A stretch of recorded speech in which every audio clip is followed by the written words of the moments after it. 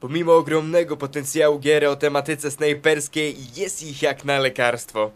CD Interactive wydając w 2010 roku Ghost Warriora trafiło idealnie w rynek, sprzedając do tej pory ponad 2,5 miliona kopii, co jest ogromnym sukcesem. Produkcja kosztująca 3 miliony złotych przyniosła ogromne zyski, pomimo mocno krytycznych recenzji w większości zagranicznych magazynów. Na pewno do tego wyniku przyczyniła się niższa cena niżeli standardowa, jednak z drugiej strony kto broni sprzedawać produktu typu AAA za mniej niż 50 dolarów? No właśnie, firma pana Marka Tymińskiego dzięki temu zarobiła sporą ilość gotówki, którą ma zamiar przeznaczyć na stworzenie sequela. Tym razem koszty produkcji będą oscylować w okolicach 10 milionów złotych, a dodatkowo marketing pochłonie kolejne 7 milionów. Między innymi dlatego warto przyjrzeć się Sniper Ghost Warrior 2. Najważniejszą zmianą w stosunku do pierwowzoru jest przesiadka na wszystkim znany silnik graficzny CryEngine 3, który to napędzał zeszłoroczną kontynuację Crysisa. Przy okazji należy wspomnieć, iż pierwszy Sniper był robiony na rodzimym Chrome Engine od Techlandu. Co za tą zmianą idzie? Jeszcze piękniejsza oprawa graficzna, ogromne otwarte lokacje, które niejednokrotnie wprawiają nas w osłupienie. Każdy chrzaczek czy liść będzie odzorowany z chirurgiczną precyzją. Na kilka miesięcy przed premierą wygląda to naprawdę ładnie. Będzie co oglądać, gdyż tym razem twórcy zabierają nas z tropikalnej wyspy, dając nam do dyspozycji bardziej zróżnicowane lokacje. Zwiedzimy m.in. mroźne Himalaje, a zamiecie śnieżne sprawią, że naszą taktykę dostosujemy nie tylko do naszych umiejętności, ale i pogody. Obejrzymy także lokacje miejskie, wkroczymy do Sarajewa z 1993 roku, gdzie miało miejsce najbardziej krwawe oblężenie miasta od czasów II wojny światowej. Odwiedzimy również dżunglę w Indonezji oraz cmentarzysko okrętów na Arktyce. Rdzeń rozgrywki nie zmienił się ani trochę.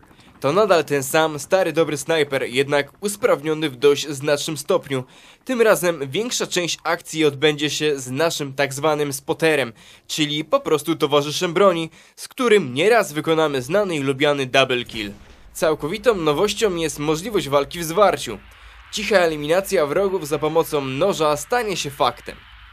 Dostaniemy także gogle termowizyjne, szczególnie przydatne podczas nocnych wypadów. Pozwolą one na dostrzeżenie celu ze sporej odległości oraz zaznaczenie go, co pozwoli na dużo prostszą eliminację.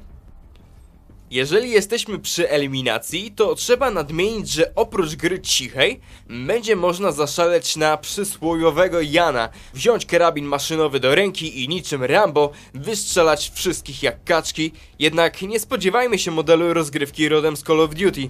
Twórcy pozwolą na ostrzejszą zabawę, jednak ci, którzy wybiorą prawdziwą snajperską drogę, będą czerpać dużo więcej przyjemności, gdyż to właśnie ta opcja jest dopieszczona.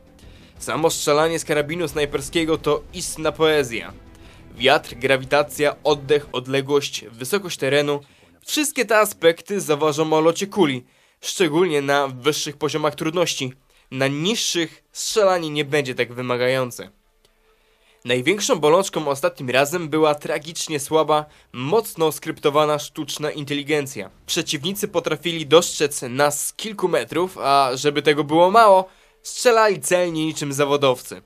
Na szczęście tym razem dużo więcej uwagi poświęcono temu aspektowi, dzięki czemu oponenci nie posiadają już sokolego wzroku, ani nie są tempakami przechodzącymi 2 metry obok nas. Kolejną nowością są pojazdy, jednak nie wiadomo jak wiele ich zobaczymy.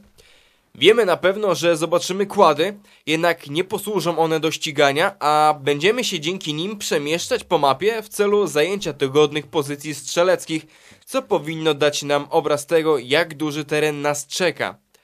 Sandbox oczywiście to nie jest, ale zgubić moglibyśmy się niejednokrotnie, gdyby nie usprawniona minimapa.